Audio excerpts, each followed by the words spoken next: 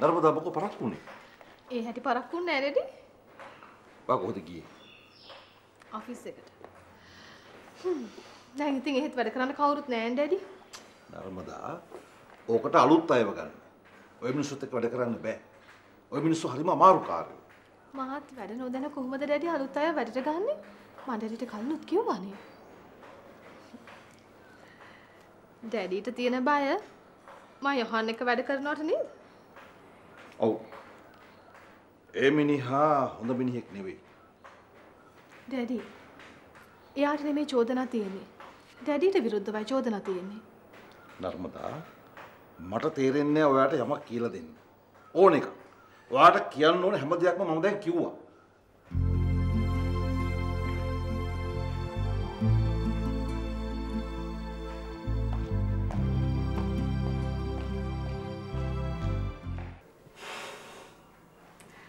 අද විතරනේ සඳුනේ අපිත් එක්ක මෙහෙම ඉන්නේ. අනේ ඵලයන් බයි යන්න. මම මේ වගේ එකපාරකුත් ගිහිල්ලා ආපහු ආවනේ. දැන් ඉතින් පොතේ හැටියට මං දෙක්ක සාතුන ගෑනියා. පොතේ හැටියට කසාද බැන්දට තාම හිතේ හැටියට කසාද බැන්දේ නෑනේ හෙට ෂා සුන්දරම දවස. අවුරුදු ගානක ආදරේ කෙලවර. පිස්සු කියවන්න නැතු එන්න. කෙලවර නෙමෙයි. ඇරඹුම. මට නම් වෙලාවකට දුකයි සඳුන් ඉතින් මගෙන් ඈත් වෙනවට ඒත් ඉතින් අපි අයියා ගාවටනේ යන්නේ ඉක්මනට දෙන්නත් එක්ක ඇවිල්ලා මේ පදිංචි වෙන්න මට දුකයි අක්කේ. හෙට මගේ ළඟ ඉන්නේ ඔය දෙන්න විතරයි. අයියයි අම්මයි එන එකක් නෑ.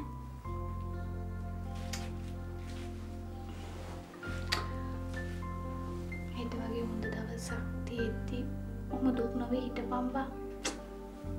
ඕක කල්පනා කරන්න එපා. දැන් අපි නිදාගමු. දැන් ඉදාගම් හිට උදෙන් යමු කිරිගෙඩිය පාත් වෙන්න කලින් පුතා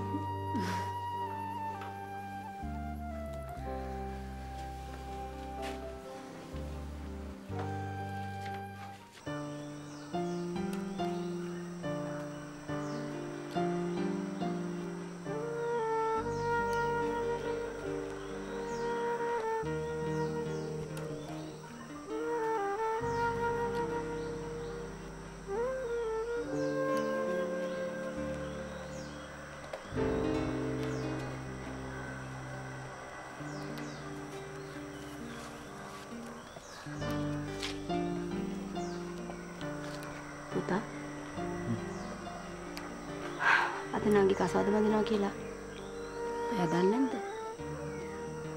නෑ ඒ වුණාට මට දැනුණා උන්ගේ කිව්වේ ඔය ගැන වෙන්න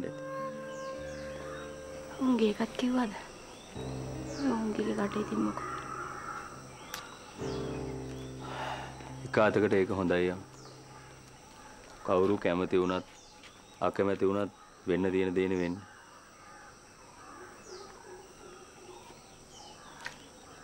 ඇයි?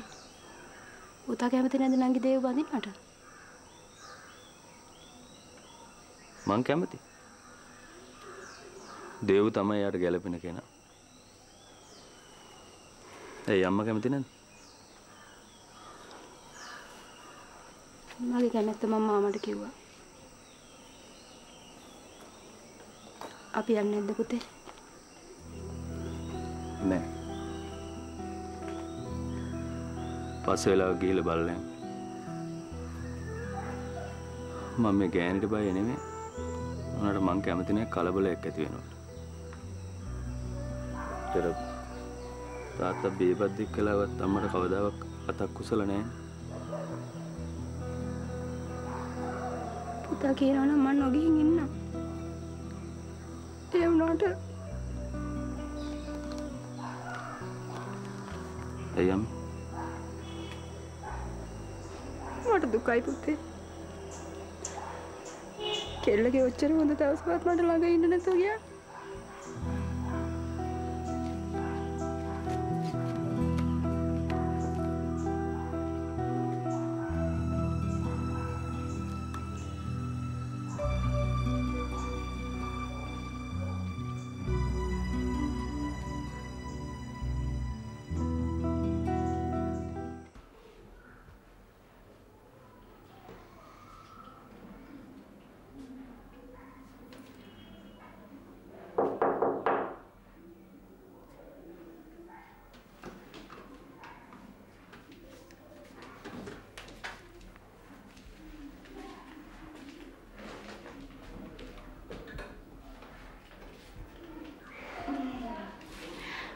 දවසලද?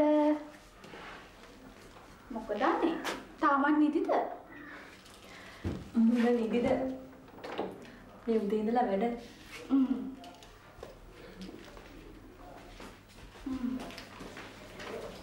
ආයුධය අතේමයිනේ. මේ කතට ගත්තා වගේ නෙමේ රිද්ම. ලේසියෙන් බිමින් තියන්න බෑ. මේ මේ මේ. මං ආවේ ලොකු පණිවිඩයක් කියන්න. ඒ බව නම් පේනවා ජැන්ඩියට ඇඳගෙන මොකද කාගේ හරි මංගල්‍යයක්ද ලොකු එකක් නෑ. සඳුනි කසාද බනිනවා. මම මේ මල් වගේක් ගන්න ආවා. මට ඕවා මතක් වුණා. කවුද දේවද වෙන කවුද? ලොකු ප්‍රේම සංග්‍රාමයක් කරලා අන්තිමට දිනුවා. සඳුනි හරි වාසනාවන්ත කෙල්ල මං යට විශ් කරා කියලා කියන්නේ හ්ම්. මම මේ ආවේ ආව එක්කයි යන්න. අක්කත් කිව්වා ආට එන්න කියලා. අනේ මට එන්න විදිහක් නෑ රිද්ම මේ දවස්වල මට නඩුව හින්දා ගොඩාක් බිසි සම්පිට කියන්න මං ඇවිල්ලා එන්නම් කියලා රිද්ම අතේ මොනවද අනේ බෑනේ. මට බරක් වෙනවා. මං එන්න ගිහලා එන්න.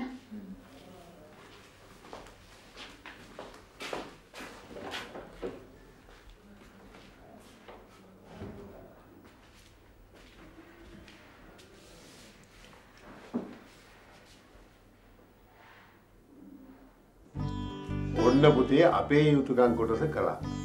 දැන් ඉතින් දෙන්න දෙමාල්ලු බොහොම සමගින් ඉන්න එකයි තියෙන්නේ.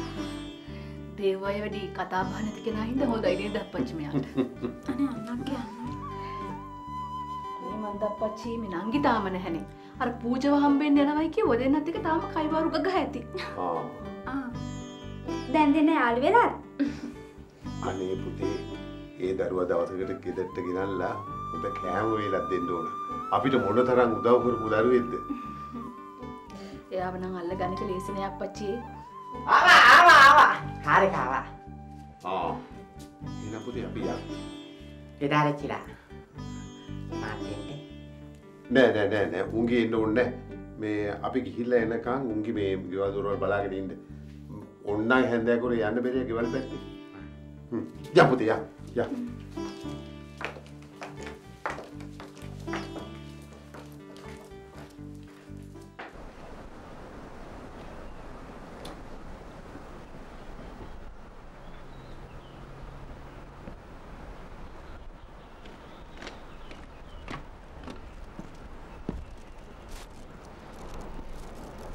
Excuse me, යොහන් පුරුෂ මොනවද මෙහෙ කරන්නේ? මේ මිට. ඩගලස්ට අසනීප නිසා බලන්ට කියලාව. යොහන් මන් තමුසට කියලා තියෙනවා මෙහට එන්න එපයි කියලා. යනවා. යනවා.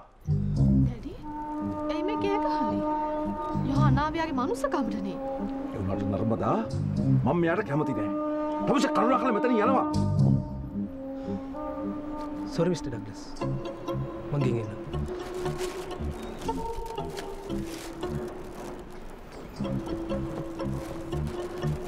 මොකද දැඩිය කරපු වැඩේ?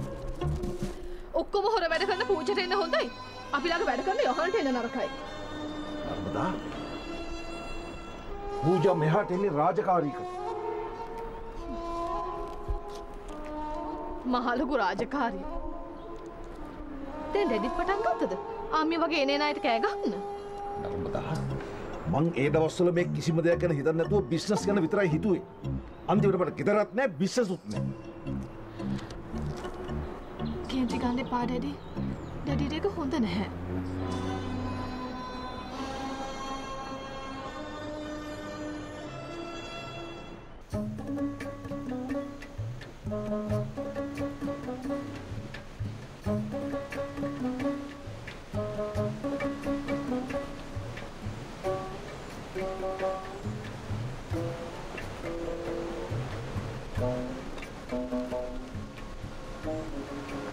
ළමයෝ ගෙදර කවුරුවත් නැද්ද? අද ඩිස්පෙන්සරිය වහලා කවුරුවත් දැන් බේත් දෙන්නේ මේ? මම බෙහෙත් ගන්න ආවේ නෑ. කොවුන්ගේ ගෙදර කට්ටිය?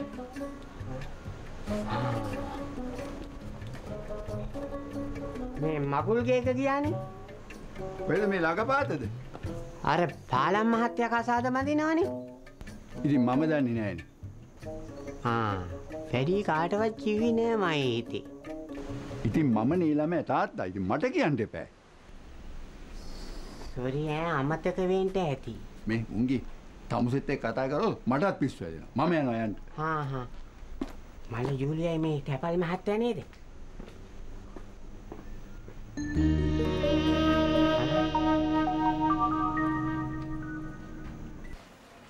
මට නම් තේරෙනවා. පූර්ණිමා අක්කලා ගෙදර මොකක් හරි දෙයක් සිද්ධ වෙනවා. අම්මා අපිට හංගනවා. එහෙම මොනවා වුණාම ඉතින් අපිට මොකද? ඒක හරි කතාවන්නේ දෙයියනේ. ඔයාගේ නංගිත් ඉන්නේ ගෙදරනේ. අන්න තැපැල් මාමෙන්. මාමගේ මූණ නම් එච්චර හොඳ නෑ වගේ.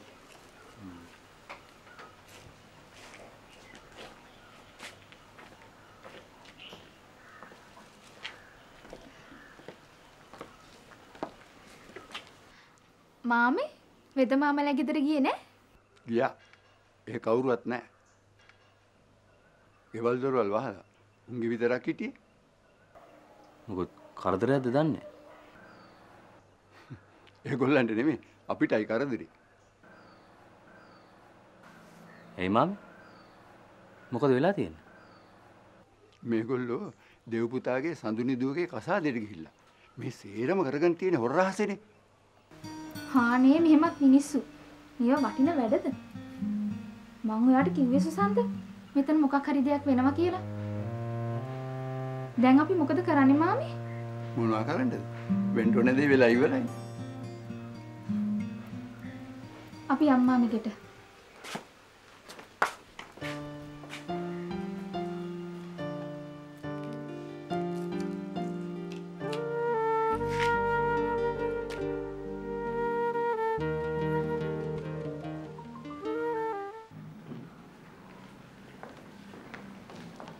ඔන්න දුව අපි දැන් නිදහස්. දුවට ගේ බාර. ඔය දෙන්නට ඕන හැටියට ඉන්න පුළුවන්. අනේ මම කරපු දේ අපි කවදාවත් අමතක කරන්නේ උදව්? උදව් නෙමෙයි මේවා යුතුයකම්. වැඩි හිටියෝ හැටියට අපි මැදිහත් වෙලා මේවට විසඳුමක් දෙන්න ඕනේ. අන්තිමට උගන දොස් පාල වැඩක් නැහැනේ. ඒක නෑ ප්‍රදාත්. එහෙම කරුවාම කිසි කරදරයක් නෑනේ. ඔන්න ඔන්න මාමේ ඔය නම් කියන්න වෙන කතාවක්. ඔය කියන්නේ අර අනිත් උන්නාන්සට බෙදන්නනේ. Hmm. ඔන්න ඔය ඉන්නවා without beating about the bush. මේ අල බයින්න එකන් ඉන්න පුළුවන්. අල තැම්බෙන එකන් ඉන්න බෑ. ඕවට තව කල් තියෙනවා. සද්දොම්බේ කරේ. වැඩි කෑවනේ. හරි හරි අපි දැන්ගේ අල්ලගත්තනේ නේ ඔව් ඊට පස්සේ ඉතින් ඊට පස්සේ රිද්මව කියනවා. නෑ බං ඊට පස්සේ උඹ එලවනවා. හා එක්කන් නම් යාළුවන්ගේ හැටි. කමක් නෑ. බල කොහොම හරි ඇතුළට වරිල්ලකෝ. මට ඒ ඇති.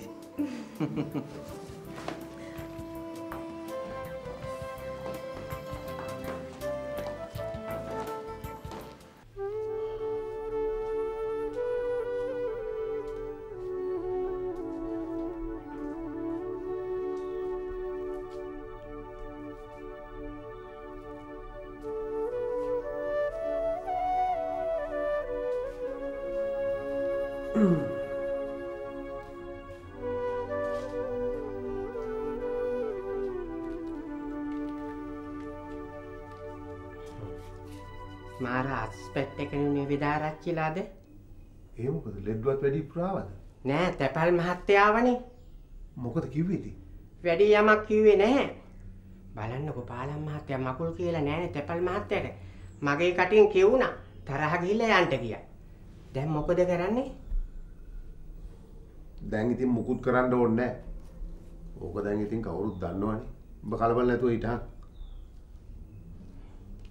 මේ තව කාරණාවක් අහන්නද මොකද්ද මම මේ අහලා ඉවර කරහන්කෝ. මං අරහෙ යන්නද මොකද ඉතින් ආසයි එහෙට යන්න ඉතින් අපේ ළඟ හැදුණු ළමයිනේ.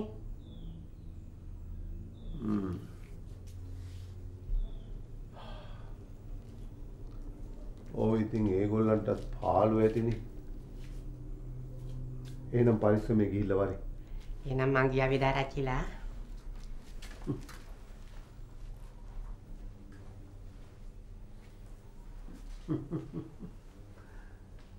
එහෙ අයිද වෙන කොහේ හරි අයිද දන්නේ නැහැ.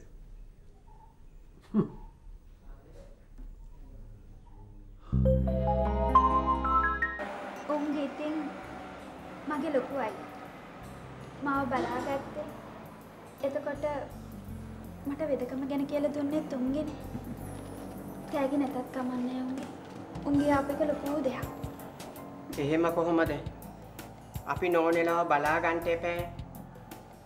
නෝනෙත් නම් කවදාවත් වර්ධින්නේ නැහැ. දල්දා හාමුදුරන්ගේම පිහිටයි නෝනෙට.